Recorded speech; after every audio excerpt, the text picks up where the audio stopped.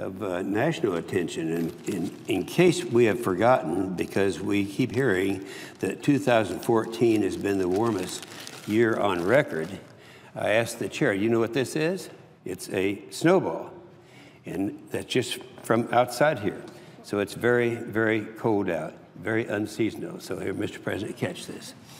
Mm-hmm. Um, the planet's warming.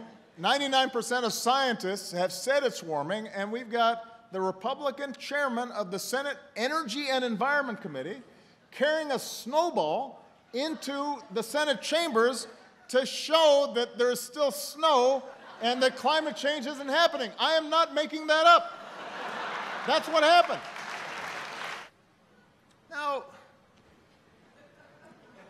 if you went to a doctor, no, let's, let's change that. You go to 100 doctors, and 99 of them tell you you've got diabetes. You've got to stop eating bacon and donuts every day. And we have to monitor your health, and you've got to, we, we got to fix this. You wouldn't say, oh, they're just, that's a, that's, that's a conspiracy. They're making that up. All 99 of those doctors got together with Obama to try to prevent me from having bacon and donuts. You wouldn't do that.